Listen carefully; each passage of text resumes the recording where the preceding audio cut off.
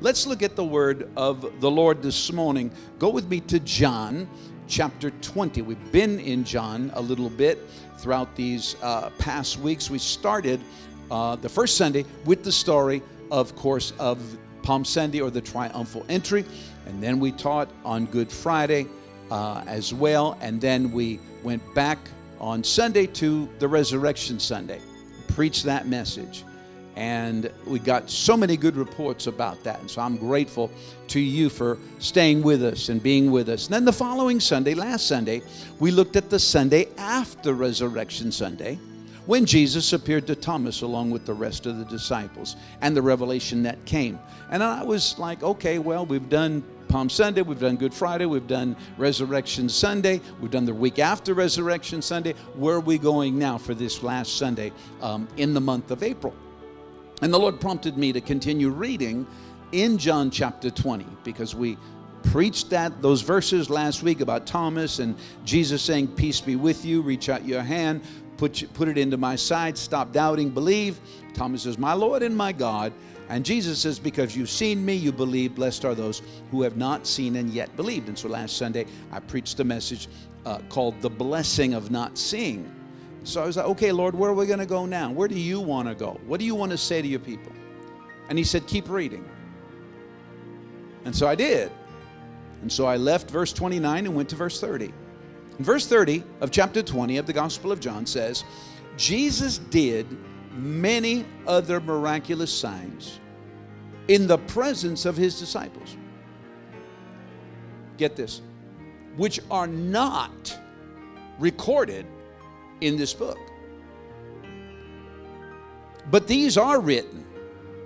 Say, these are written. Come on. These are written.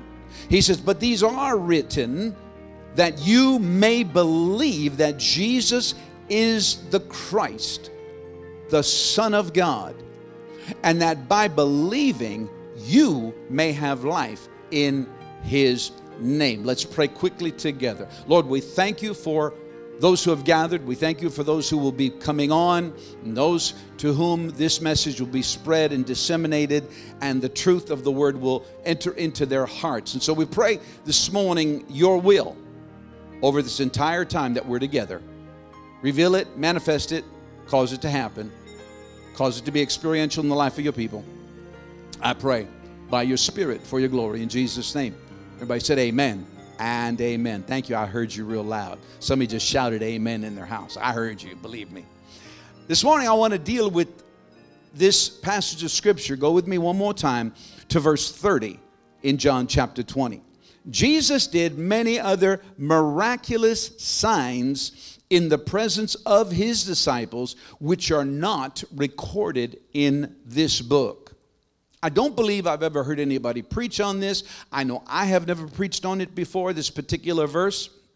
And so it is that the Lord prompted me to, to get into this and to step into this. And I've, I've told you on various occasions, um, especially my church people know this, that um, the Lord, shortly after I was uh, saved and gave my life to the Lord, uh, that he gave me a verse, Isaiah 45 3. I will give you treasures stored in secret places, riches and treasures uh, in darkness, hidden in darkness. And he said, I'm going to give you, as it were, a, a miner's hat uh, with a little lamp on it.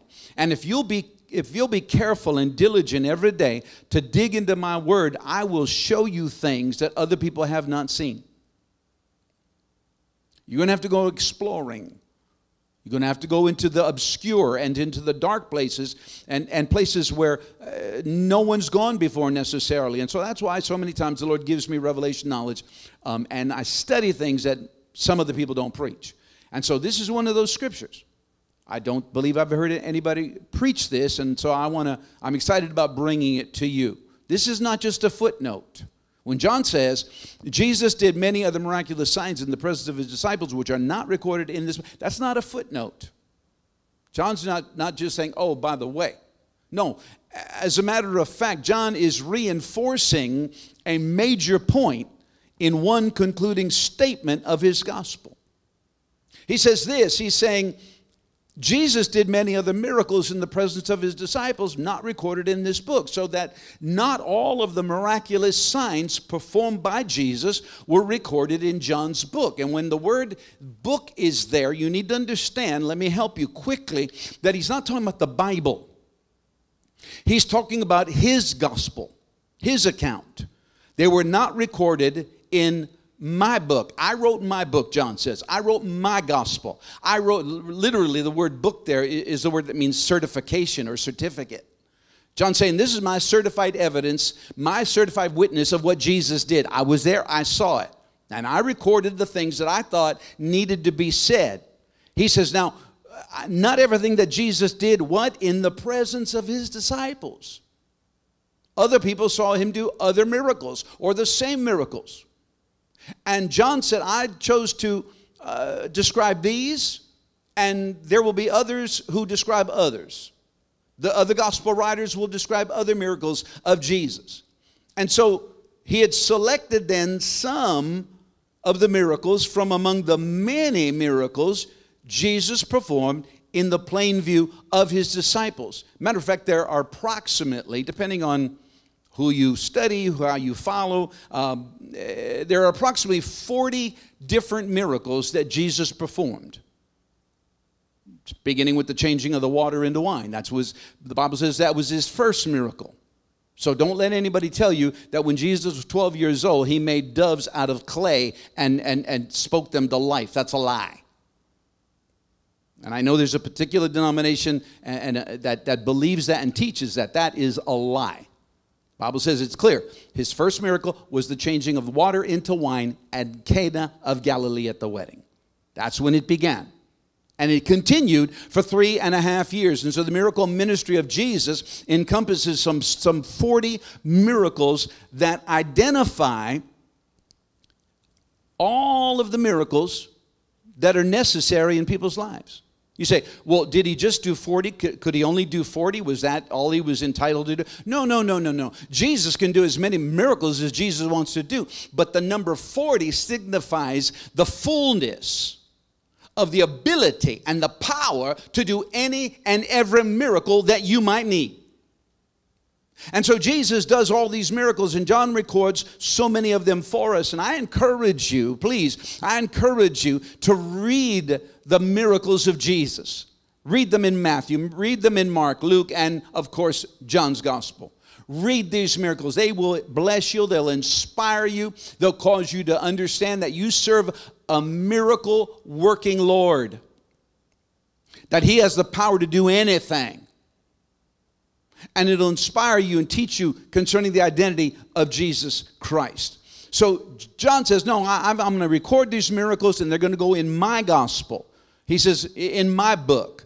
Well, how do we know he wasn't referring to the Bible? Well, we know he wasn't referring to the Bible because the Bible wasn't written yet. John doesn't write this gospel until 85 AD.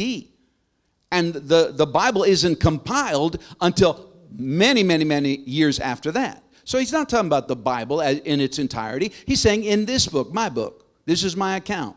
If you wrote a book, it would be about what you know and what you saw. John's saying, This is what I know, this is what I saw, this is what I experienced. All right. So John says, Look, there's no need for me to describe every miracle that Jesus did. It's unnecessary. The other gospel writers were going to take care of some of those. And so, in fact, what he does is he, he says, I'm going to record these, and I suppose then he says that a complete record of them could never be written. Look what he says. He says, These are written that you might believe. He says, If we tried to write them all, the books wouldn't contain them. There are not enough books, there are not enough writers, there are not enough transcribers to ever record every single miracle that Jesus ever did. So don't ever limit Jesus. Don't ever say, well, he only does this, but he doesn't do that. He can do anything. Anything. And he can do everything. Nothing is impossible for the Lord. And so, John here as well, he's not attempting to give a complete record of the miracles. He's not con- uh, attempting to give a complete biography or a, or a chronological uh, record or account of Jesus' life. But he writes his gospel to demonstrate that Jesus is the Christ by his record of the miracles of Jesus Christ. Let me say that again. His gospel demonstrates that Jesus is the Christ by his record of the miracles of Jesus the Christ. Look at it again. He says, But these are written that you may believe that Jesus is the Christ. What's written? The miracles. Jesus did many other miracles in the presence of his disciples, which are not recorded in this book, but these, say these, point to your Bible, point to the Gospel of John, and say, but these are written. They're described. Literally, the word in Greek is they're, they're, they're described. There's a description. Every time Jesus did something, every time he healed somebody, there's a description of it in the word.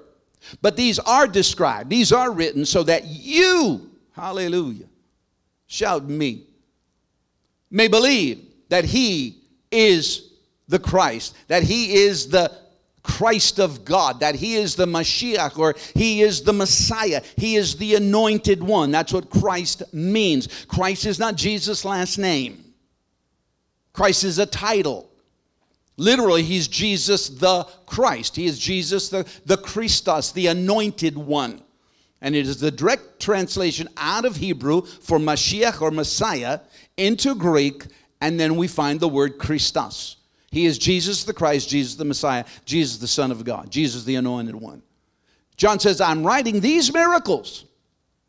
I'm recording this account of every time Jesus ever touched somebody, every time Jesus ever spoke a word, Every time Jesus' presence showed up and somebody got healed as a result of it. John says, I'm writing these things so that you might believe that he is that exact person who I'm saying that he is and that he said he was.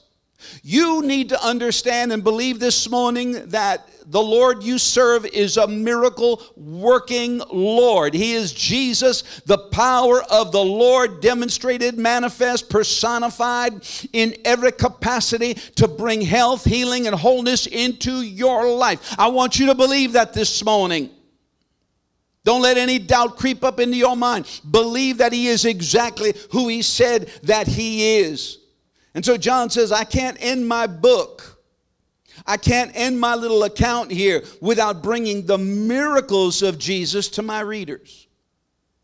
I got to make sure that the people who will read this and those who will read it after I'm gone, I, I need to make sure that they know He's a miracle worker. Not just a prophet, He's a miracle worker. Not just a good man, He's a miracle worker. Not just a teacher, He's a miracle worker. Not just a religious figure, because Jesus isn't a religious figure, He's a miracle worker. John says, I want my people, I want everyone who reads these words to know that Jesus works miracles, He performs miracles. And so I'm going to write these things down so you might believe. You might put faith into the fact that Jesus is who He said that He is and who He demonstrated Himself to be. Let's, let's look at something for a moment. What are miracles? Ask the question to yourself. If you're sitting with somebody watching this, social distancing, what, what are miracles? Well, miracles, the word miracle is a term applied to extraordinary ev- events. Watch this extraordinary events that manifest or cause to show up, cause to happen, cause to be seen, cause to be experienced. They're extraordinary events that manifest divine intervention in human lives. Divine intervention in human lives. Extraordinary events happen. It's not well, I got a hangnail and I took it off. That's a miracle. No, no, no, no, no. It's when you're so sick and you can't get well, and I know because I've been there. And there was a measure of divine intervention that stepped into my situation and healed my body. I've seen it all over the country, I've seen it all my life. I've seen miracles, signs, and wonders that the Lord has performed. And so we have to understand that the uh, miracles are extraordinary events. They're not common, they're extraordinary. They're extraordinary events, stuff that you can't explain. The Bible calls them, in one capacity, talks about them as wonders. Well, why are they, they called wonders? Because when they happen, you wonder what happened. You have no capacity to understand it in your natural mind. I, do you understand? No. Well, I wonder what that was. It was the power of the Lord showing up and being manifest in your life and in your situation, causing the extraordinary to occur. Something that can't be done any other way but by the divine intervention of the hand of the Lord. So these miracles then that John is referring to and talking about, they're events that are totally out of the ordinary and cannot be adequately explained on the basis of natural occurrences. You may have some illness or uh, uh, something that needs to be resolved and you know you might have a headache for a, a, couple of days and it naturally goes away or you take some pain remedy and then it, it went away and you felt better. That's not a miracle. No the miracle is if you've got a migraine and all of a sudden the lord touches you and it's instantly gone. There's no explanation for that. That's not an accident. That's not that's not ordinary. That's extraordinary. That goes beyond the realm Something occurs in your life. There's a financial need, and there's no way you can get that thing handled or resolved in, in, with all the resources that you've tried. And all of a sudden, something shows up in your life. When I was a little boy, we were broke. I mean, I can't even tell you how broke we were. And my family went through a terrible, terrible crisis financially. And I remember that there were days that we wouldn't have anything. And my mother would go to the front door, and somebody, somewhere, some, from some place, don't even know how, envelope through the mailbox, no name, nothing, and there would be a $100 in cash there. Back then, because you all know I'm old, back then, $100 was a lot of money. That was a lot of scarillas back then. And miraculously. What had happened? Well, the Lord put it on somebody's heart to bless us. Didn't they didn't know our situation, didn't know because we didn't broadcast it. We didn't run around and say, Oh, we're so broken, we're so poor. No, we just, you know, we showed up at church and and, and I showed up, my mother made me look the best I could every Sunday, and we did our best and we just smiled and praised the Lord. She made me, you know, she pulled my ear if I didn't. But the reality is that the Lord would speak to somebody out of the power and by the power of his spirit. And that person would just go boom here here's some money. Or sometimes we'd find boxes of food on our front doorstep. Why? That's extraordinary. That's the hand of the lord. That's miraculous divine intervention. Somebody exercises favor in your life and you knew you didn't deserve it. You knew it, it, it, that wasn't planned. It wasn't even looked for. And somebody blessed your socks off that's a miracle. You're spared from a, a car accident. I've had many situations where I should have been taken out. And the Lord divinely intervened. I will never forget, I was driving my children. They were little. I was driving them to, to school one day. And, and there was a car that ran a red light and went right through the intersection. And I came within uh, this much. It wasn't even inches, it was this much, it, it was centimeters of distance between my car stopping and hitting that other car. Was it my, my good brakes? No. Was it my, my, my, my uh, you know, reflexes? Uh-uh. I'll tell you what it was. When I came to a stop and I saw that car in, right in front of me, and I would have hit that driver broadside because he ran the red light. Guess what I saw?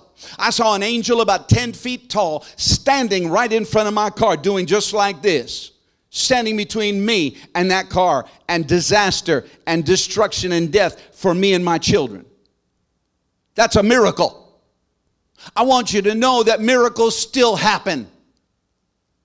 When John said, These are written that you might believe, he wasn't just talking about those people who lived back then, he was talking about you because he knew by the power of spiritual vision and prophetic insight that there would people would be people throughout the centuries who would continue to read his book and believe that Jesus is the Christ, the Son of the living God, and that by believing they would have life in His name and life more abundantly and miraculous power to live. John says, I want you to understand these are not ordinary. They can't be explained on the basis of natural occurrences. No, they're signs given to confirm the word of the Lord.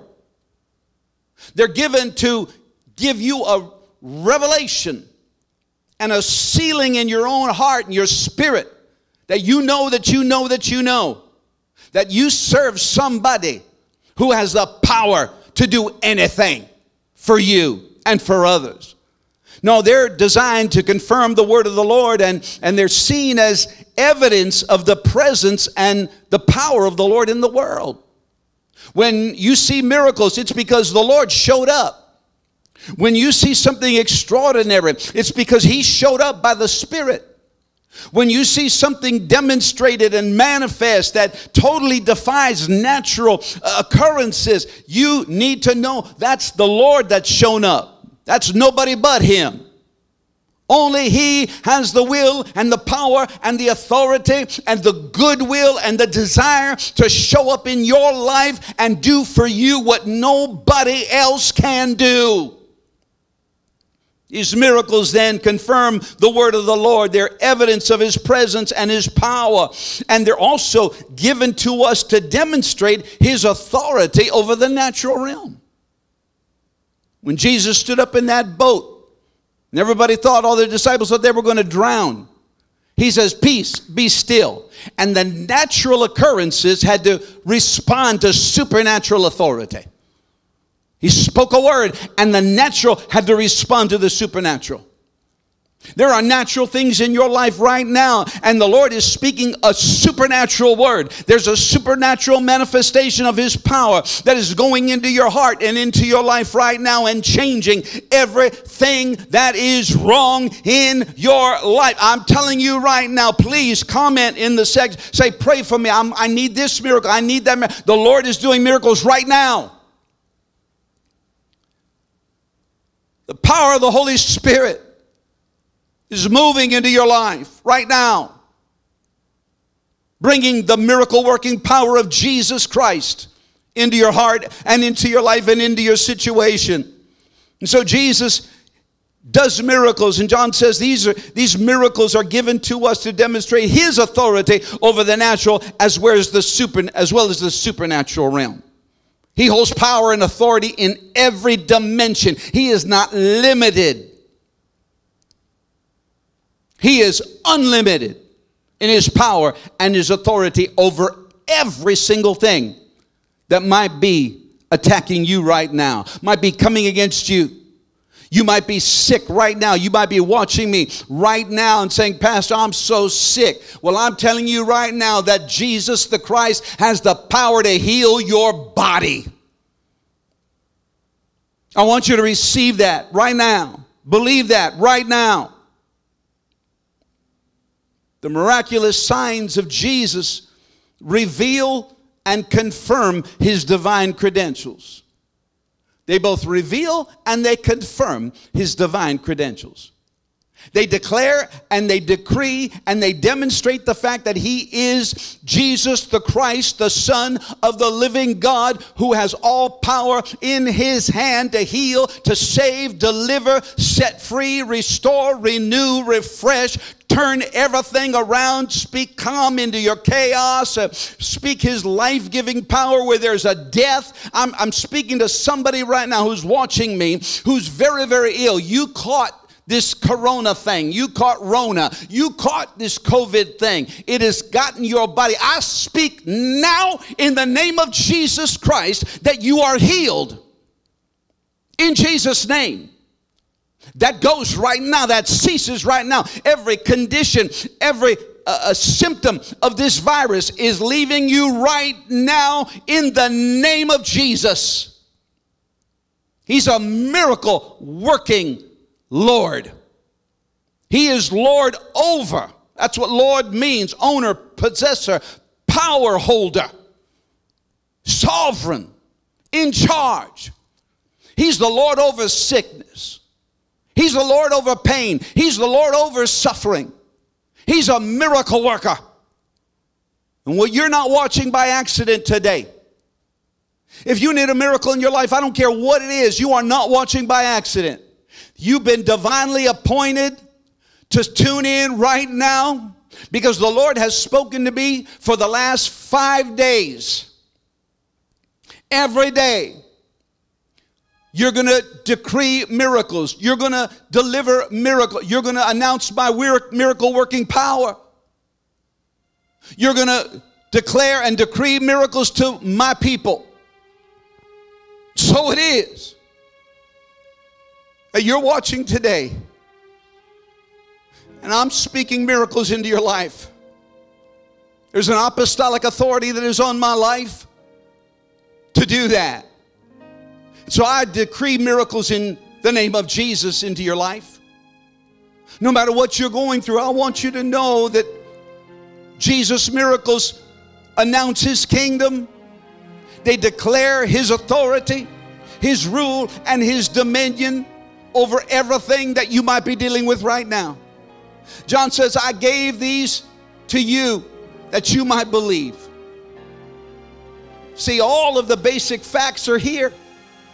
They're here for us to not only believe, but receive. It's one thing to believe it, it's nothing to receive it. Why should I believe something if I can't receive it? The Lord never intends you to believe something without receiving what you believe for. So this morning, I want you to believe and then receive. Believe that He is who He said He is. Believe that He is a miracle worker.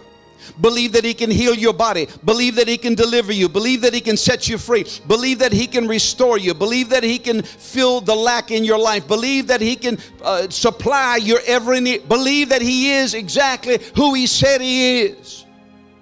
Believe that. But then don't stop there. Don't stop at believing. Come on, somebody. Don't stop at believing. A lot of people believe and they never receive because they never step into the next step of receiving. I want you to not only believe but receive. The Lord would never, let me hear, let me tell you something very clear. The Lord would never want you just to believe and not receive. Why should you believe and not receive? That's ridiculous. That's illogical. And it is not the will of the Lord. No, the will of the Lord is that you might believe and to receive what you believe. So this morning, I encourage you to believe and receive. John's statement of purpose here. Watch. But these are written that you may believe. That's his statement of purpose. And so his statement of purpose, watch this, is directly linked. You think it's it's it's a separate thing. It's not. It's directly linked with Jesus' blessing upon those who have not seen and yet have believed. We preached that last week. John says, Jesus said that there would be those who wouldn't see, but they'd believe and they'd receive. So, this is what they can receive. These are not disjointed scriptures, they go right hand in hand. John says, I want you to believe for miracles. I want you to believe for supernatural events. I want you to believe for supernatural supply. I want you to believe for the reversal of your situation. I want you to believe for a turnaround. I want you to believe for a shift and a transformation. I want you to believe for an end to the suffering that you've been going through. I want you to believe for that loved one who has left me and, le- and, and gone away from me, or the one who never knew me. I want you to believe for him or her because I'm going to do it. I'm a miracle worker. I work miracles. We sing about it, waymaker, miracle worker, light in that. We sing it, but do we believe it? I'm telling you this morning on the authority of the word of the Lord to believe that He is exactly who He said that He is, and that you can receive this morning what you believe. John's precise purpose in this verse is to enable you to experience the miracle ministry of Christ through the personal presence of the Holy Spirit right where you are. And I've seen miracles. I've seen in my ministry. I've seen people come out of wheelchairs. I've seen blind eyes open. I've seen deaf ears unstopped. I've seen crippled walk. I've seen things happen in the in, in the realm of this. I've seen people who were delivered from emotional bondage. I've seen all manner of healing and miracle take place. And guess what? I still see him. Why? Because Jesus said, I'm the same yesterday, today, and forever. Miracles didn't stop when they finished this book. Miracles didn't stop when John finished his gospel. Miracles didn't stop when John wrote the last verse in the book of Revelation. The miracle working ministry and the power of the Lord Jesus Christ still is alive today because he is alive and he holds all power in his hand and he has the authority, the power, the right to, to work miracles in your life and in your behalf. I decree, I release miracles into your life right now. Receive it upon your believing. Let there be an actualization of what you believe that translates into what you receive. Manifest power of the Holy Spirit is moving in your heart right now. Because wherever and whenever people are confronted with the reality of the miracle working power of Christ, their lives are transformed everything shifts, everything changes. Everything is dramatically overturned and it's made right. He'll make a way where there seems to be no way. He will speak light into your darkness. He will cause you to rise up out of your sick bed right now. There are two people watching me in the hospital. The Lord is healing your body right now. You better hit that nurse's buzzer and tell him, Get me out of here. I'm ready to go home. Believe me, I've seen it over and over and over again. This is not some crazy preacher just, just spouting off. I've seen the miracle working power of Jesus Christ. And I continue to see it. Wherever I go, Argentina or Africa, wherever the parts of the world around the country are right here, I see the miracle working power of Jesus all of the time. This is not every once in a while. I see miracles. Why? Because I serve the miracle worker. You can believe him this morning. You can believe and then you can receive. Because that same transforming experience that other people have with the miracle working power of Christ can be yours today. John said, Jesus did many other miraculous signs. The literal translation there in the Greek would be this in the English Jesus did many more miracles.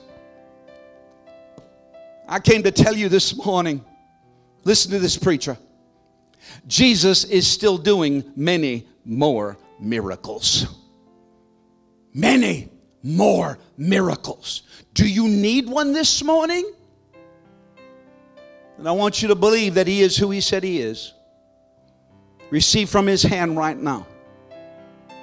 Believe and receive. Believe and receive. Believe and receive right now, receive your miracle because He has more for you. He didn't run out of miracles, He didn't run out of power, He didn't work His last miracle last week. He's still the miracle worker. And He will continue to do miracles for you as long as you need one until the greatest miracle when He comes through the clouds of glory and calls you home. This morning, I want you to believe right now. Come on, pray with me. Lord, I speak your will over your people's lives. There's a, a, a woman watching me right now, and, and you're, you're, you have, uh, your, your son is autistic. The Lord's healing your son. He's healing him right now. He's healing him. He's healing him right now. There's somebody with uh, scoliosis in the back. curvature of the spine. The Lord is straightening you right now. I, I want you to stand up and receive that right now. The Lord's, I, I've seen it before, He's doing it again.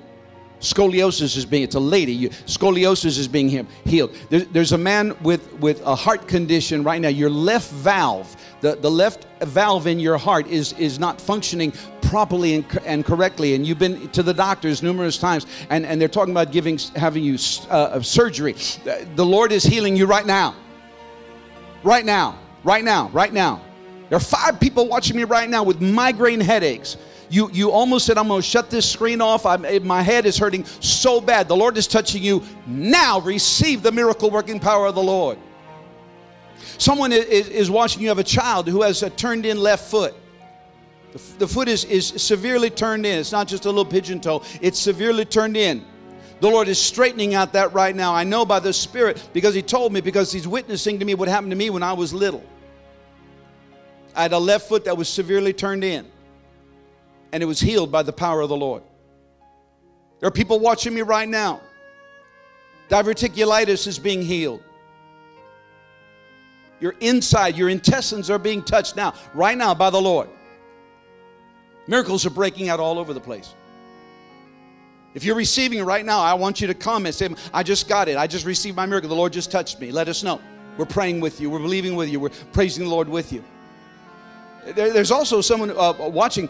Um, you injured your this this finger, this finger on your right hand. You closed it in a door, or it was a car door. Some some something damaged that finger. And, and, and you haven't been able to get to get well. You don't know if it's going to need a, a, a suture or a, a splint of some kind. The Lord's touching you right now, healing that finger. Somebody's watching me with a financial need. You owe $7,300. $7,300 and you do not have $7,300. But you've been faithful to the Lord and you believe that He is a rewarder of those who faithfully serve Him. That money is coming in the next 17 days. Tell your creditors, it's coming. Don't worry about it. I'm sending it when I get it.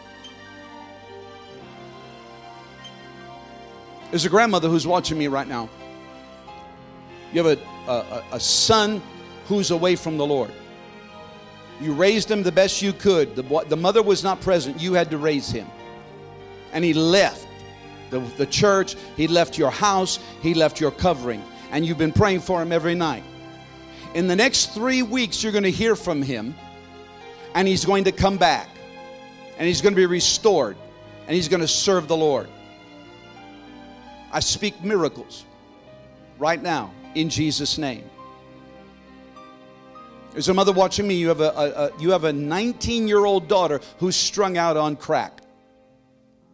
You said, There's no hope. I've tried everything. I've taken her to the specialists. I've taken her to social workers. I, she's even been in, in the youth facility, and she's still addicted and she's still strung out. She's in the street. By the authority of the name of Jesus Christ, I call her out of darkness. I speak angels right now to go to her and to make her stop. Right now, she will come to herself just like the prod- prodigal son. The Bible says that he came to himself. She'll have an awakening, an, an awareness, an epiphany. She's going to be set free and she's coming home. And if I didn't call out your miracle, if the Lord didn't show that to me, that doesn't matter because I want you to believe for yours right now and to receive in your life the miracle working power of Jesus, the Christ, the Son of the living God, that you may have life both in this world and in the next, in His name. Amen and amen. We're so glad you were here. I'm so glad that you tuned in and that if the Lord spoke to you, please let us know. Please remember to support us any way you can. And we're excited about Wednesday night and what the Lord is going to say to us Wednesday night. But I'm just so blessed. Thank you. Thank you. Thank you. Thank you for taking your time. But most of all, thank you for your attention to the word of the Lord. This is life changing. Please read it every day. Every day. This is your pastor. This is one of your pastors. If I'm not your, your pastor, pastor, I'm one of your pastors. Please read this book. We're glad you were with us today. Glad you were, entered into worship and praise and received from the word and by the presence and the power of the Lord in your life this morning. And so, as always, I want to let you know that we love you. I love you. And most importantly, the Lord loves you. See you next time.